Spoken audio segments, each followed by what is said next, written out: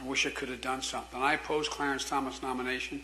I voted against him. Well, he was the man who was in charge of these hearings. And so those comments to many people rang hollow, uh, saying that he could have done actually more to ensure that she got that hearing that he said that she deserved. It's pretty clear what uh, the former vice president has to do to get right on this issue. And he has to give her a personal apology. He has to acknowledge his uh, own uh, culpability for what happened in that hearing.